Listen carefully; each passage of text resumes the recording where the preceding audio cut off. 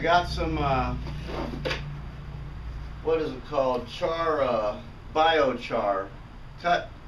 Okay, what we have here is called biochar. It's some uh, wood that was burned and um, doesn't go all the way into the soft, soft ashes, actually, and uh, stays somewhat kind of firm. But what it does is makes a lot of nooks and crannies for all the microbes and microorganisms to be absorbed into and move into these nooks and crannies here and uh, act as a sponge and actually retain water and feed the garden along its uh, path and growth.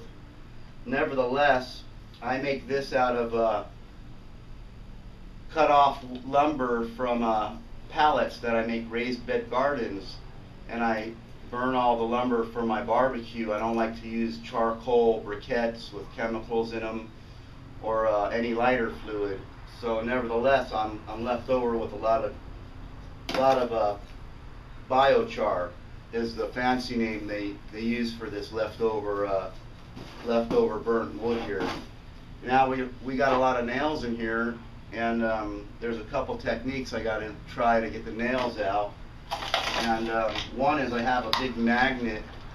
I have a big magnet in here, and I'll uh, put it in this plastic tub and just kind of move it around in here. And you can see uh, we're picking up a couple little nails.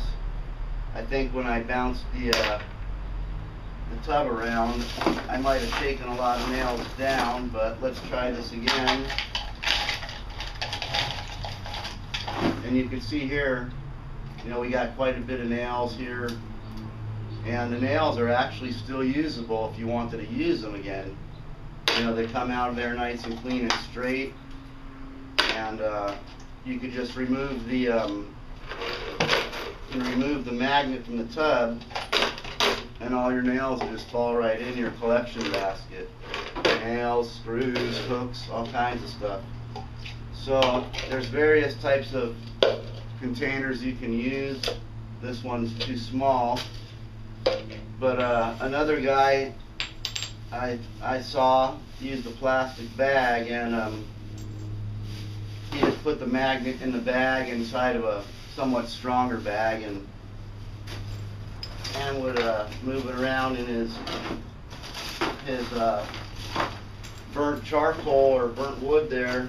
And again, you get the same effect with the, uh, the nails on there, but it's not so easy to remove the plastic. So use, using the uh, a tub that'll fit a heavy-duty magnet is going to going to be your best bet to get out your nails. Anyway.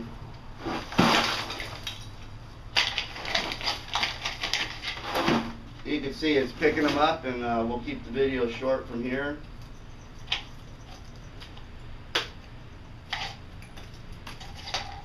And then just go ahead and take your magnet out and drop all your nails in your collection bucket. Thanks for watching.